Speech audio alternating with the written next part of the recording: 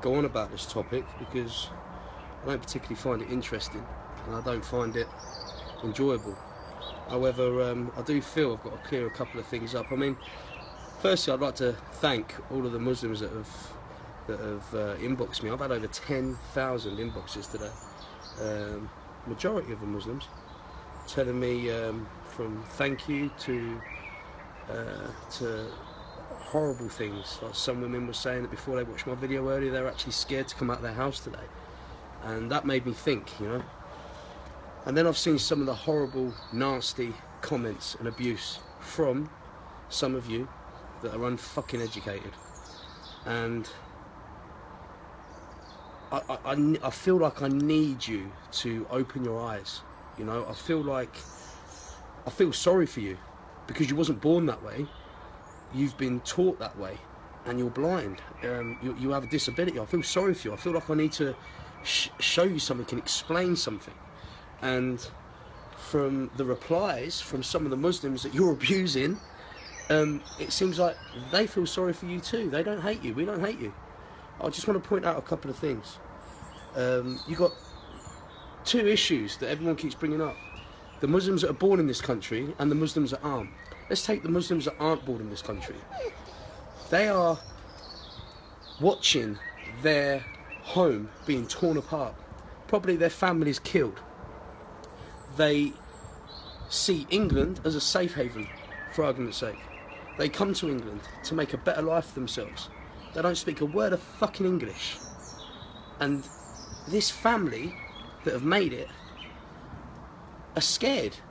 They're fucking scared. They're in a foreign country after seeing their country being torn apart, their family murdered, where they can't speak a word of our language and they're scared. All they can see is people stopping in the street, pointing and talking about them. And then when they do learn our language, they suddenly understand exactly what it is you lot are pointing and saying about them. So they're even more scared. They wish they never fucking came to England. They wish they never fucking learnt our language. And then you've got the Muslims that were born here. And you think, ah, oh, well, they haven't had their country torn apart. They don't really know what it's like. Yeah, they do, but in a different way. They're born here, which means they've suffered abuse all the way through school. They've been spat at, they've been called names, they've had their clothes pulled off them, they've been humiliated. They've probably watched their families be humiliated. Their mums and dads. Now, a child's father should be his hero. Should be nobody bigger, tougher, or harder than his father. I bet a few Muslims out there have seen their fathers being bullied, picked on, spat on in front of them. Probably can remember the abuse. Probably get stones thrown at their houses every time there's a terrorist attack in England. So, you have to really, really, really think before you open your mouth, before you comment. So when you say things like, they keep themselves themselves, they don't make an effort to integrate with us, integrate with the community, would you? Because if I was them and I get shouted at, spat at, I've been punched, pushed, and kicked and seen my family be abused, I wouldn't want to fucking talk to you either. And then you get some of the comments, well, they don't allow their children to mix with our children. Really? That's probably because you're an uneducated fucking prick from a scumbag family who raise their children wrong. Your parenting skills could probably be a, leave a lot to be desired. I wouldn't want my children mixing with your children either. I very, very much doubt there's a Muslim family that would see their Muslim child playing with a non-Muslim child, open their door and start kicking them off and shooing them off like they're fucking animals. I very much doubt. I've never heard of it. I've never seen it. Unless that child is a bad influence on theirs. And in that case, they'll be doing just what any other fucking parent would be doing. You don't want your children mixing with the wrong sort.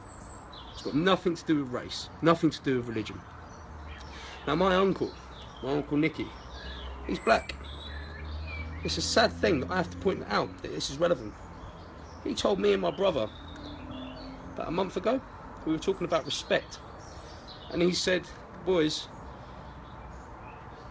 respect is an automatic given, it's a human right. All this respect should be earned, it's rubbish. Respect should be given, it's disrespect that's earned. And he's right. I think Nelson Mandela said something about um, people aren't born racist, they're taught it. And that is why you uneducated people that are putting these derogatory comments online, on posts, on my fucking video, that's why I feel sorry for you. Because it genuinely isn't your fault. It's not. Now, maybe if you took a bit of responsibility, you're saying that these Muslims down the street in that mosque, they don't integrate with the community? Okay, okay. Maybe you should get your fucking wife off of Facebook, your fucking kids off of their PlayStation, and you should take them down the road. Knock on the door of the mosque. When the guy opens, say, Hi, my name's Paul. This is my wife Susan. This is my son Zach. And this is my daughter Bethany. Um, I don't want my children growing up in ignorance. I just thought I'd come over and introduce myself. Uh, and find out exactly what all this is about. And maybe if um, somebody has time over the next week, if now isn't convenient, somebody could show us around give us a bit of a tour. And then offer your handout. Because when you do that, that's an international sign of peace. Now, the Muslim that opens the door might open the door with a frown, which you can't blame him because he's going to be wary at first. But the moment you come out with that sentence and the moment you offer that peace gesture, I'm pretty sure, in fact, I'm willing to bet a lot of money that he will shake your hand. And do you want to know the weird thing? I reckon he's got a teapot in the mosque too. I reckon they got a kettle. I reckon they're that modern. I reckon Muslim women are just as bossy as non-Muslim women. I reckon Muslim kids are just little fuckers, just like non-Muslim kids. And I reckon the Muslim dads have just as much of a sick sense of humour as me, you, and everybody else. In fact, if you did that, I reckon you'll probably even make a friend. A friend for life. That's right. You know what? A lot of you started following me because of um, the video that I did that went viral about my daughter being bullied at school. And I got a lot of support from that, and she got over it. So if you have seen that video, um, you'll realise that Aaliyah is a very well educated, very polite, very well mannered young lady. She's eight years old. Um, and I'm going to practice what I preach. I've had so many Muslim people out there um, that have contacted me saying to me, um, uh, thank you, and showing, you know, and, and, thanking me for showing my support. I would like um, one of you, a few of you, doesn't matter what part of the country it is, I'm willing to travel, to invite me and my daughter to um, to go and look around the mosque. Come and play with your kids, have a cup of tea, and allow me to film it so I can show you guys and girls that are uneducated that Muslims don't bite. You know, I don't even want to hate you. They don't want to hate you. We want to educate you. And that's not me um, being patronising. I mean it. I mean, if this, I've got a massive following. Look, I've got what 600,000 viewers across the world. You know, if I did this, then I've got to be able to change a few of yours, uh, your, your opinions. So I want to do that, and I'll use my daughter as an example because I'm pretty sure a Muslim isn't going to eat her. So if you can do that, that'd be great. Um, I'll be grateful to accept the request, and if it's okay to film in there, um, and maybe we could do a couple of videos, and you can explain to people um, on the best way to maybe make conversations with yourselves. Then I think that's a positive thing around. But even you guys and girls that have put some of the hatred comments on today, I don't even believe deep down if there was a Muslim woman being attacked in the street, you'd just walk past and leave it. Do you know why I don't believe that? It's because you're British. Yeah, we have it in us to help people. That's what we do. Soldiers, wars. Okay, I don't know the reason why the politicians go to war. They might have a different fucking agenda. I don't talk about them. But people that join the army are there for a fucking good cause to help others fight all enemies, foreign or domestic. I know this because I have a lot of soldiers that follow me. After the video today, I've even had a lot of soldiers inbox me saying thank you for getting that message across. So I don't believe for one minute, even the ones out there that hate on these people because of their faith, I don't believe for one minute you would allow a child to be beaten up in the street and walk past. You would still help because it's in your DNA. It's what makes us British, right? But what I'm what I'm disgusted about is it's also in our DNA to make people feel welcome. And from the comments I've seen today and the posts, us as British people are making other British born people feel uncomfortable in their own home. This land is their home. Yeah? We're making them feel uncomfortable in their own fucking home. That's not good. And the ones, the Muslims that aren't born in England, born in, in the UK, they're visitors. We're also making visitors to our country feel uncomfortable.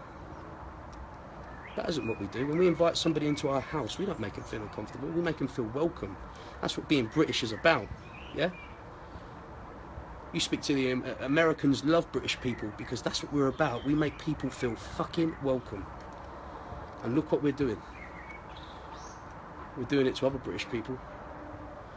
Just because they choose to wear different clothes to us or choose to believe in something. Doesn't matter. Who are we to tell somebody else what they can and can't do? You know, you've seen my my other videos, issues with the police and, and stuff. I don't have an issue with the police. Never have. I have issues with individuals that feel that they have to use their power or use themselves to try and tell people what they can and can't do when it's wrong. It's wrong. So hopefully, um, hopefully the right message has come across and again I thank you for uh, I thank you for taking the time to to watch the videos. And I just hope some of you'll just think before you speak and think before you act. Because um, deep down this isn't what we're about. This isn't what our soldiers are fighting for. You know we're destroying ourselves. And these fucking idiots these terrorists are winning. They're winning see when you watch these documentary documentaries and you you see these uh, these extremists preaching in the street you see people walking past ignoring them but when something happens you see people attacking and bullying Muslims. Why don't you just attack and bully the people that are preaching this shit instead of walking past them in the street? Attack the people that are guilty not bully the ones that aren't That's all I've got to say on that. Hope you all have a good day.